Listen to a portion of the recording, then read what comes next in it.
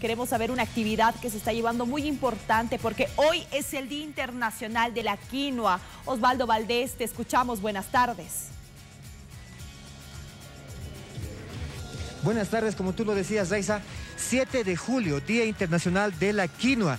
Por tal motivo, en Ciudad Satélite se lleva a cabo una feria justamente por esa temática. Pero para más detalles, me encuentro con el director de Desarrollo Productivo, Fundación Juan Carlos, que es indicar hasta cuándo y qué se va a llevar a cabo esta feria. Con Juan Carlos, buenos días. Una feria por el Día Internacional de la Quinoa, ¿verdad? Exactamente, muy, muy, buenas tardes. Queremos eh, invitar a toda la población, nosotros, al mandato de nuestra alcaldesa, como Desarrollo Económico, estamos apoyando al sector productivo, ¿no?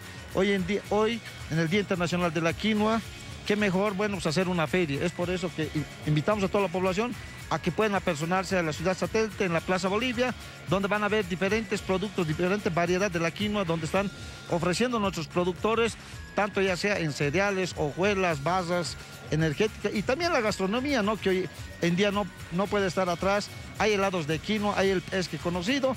Y bueno, invitamos a toda la población y tenemos que consumir este grano de oro, que es un producto nutritivo y bueno, también tenemos que apoyar a la reactivación económica. ¿Alrededor de cuántas personas, cuántos productores han participado de esta feria? Eh, bueno, están aquí más de 30 unidades productivas que están en los diferentes están exponiendo la producción y este sábado también van a estar en la terminal metropolitana. Hoy se, les ha dado la entrega a aquellas personas, aquellos que quieran degustar o hacer algún plato en el tema eh, de gastronomía, puedan eh, apersonarse en la terminal y bueno, pues ofrecer su mejor plato. ¿no? Les estamos obsequiando aquí, gracias a la empresa Los Andes, eh, bueno, los cereales o la quinoa, la materia prima para que hagan la gastronomía. Aquí también estamos con el secretario de Desarrollo Económico. Secretario, buenos días.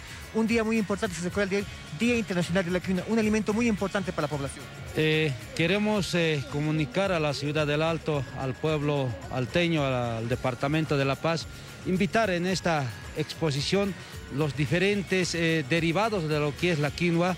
Hoy estamos eh, en homenaje Día Internacional de la Quinoa. La quinoa es un grano de oro, eh, un alimento que se cultiva en los altiplanos de acá, de Aroma, por lado de Oruro. ¿no? Es muy importante invitar a la población que pasen. hoy vamos a estar todo el día con nuestros expositores, con nuestros hermanos eh, que se dedican, eh, productores, eh, lo que es en, el tema de quinoa. ¿no?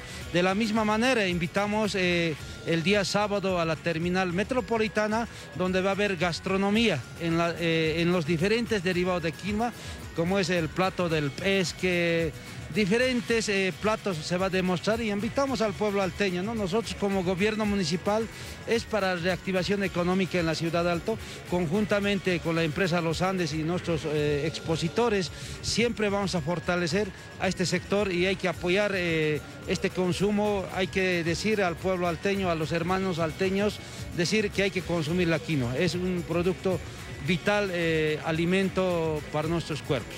Muchísimas gracias. Como lo escuchabas tú, Raiza, Día Internacional de la Quinoa, la invitación está hecha a toda la población para que venga y disfrute todos los derivados que en lo que se refiere a la quinoa. También el día sábado se va a realizar una feria gastronómica donde usted va a poder degustar diferentes platos que efectivamente van a ser hechos con la quinoa.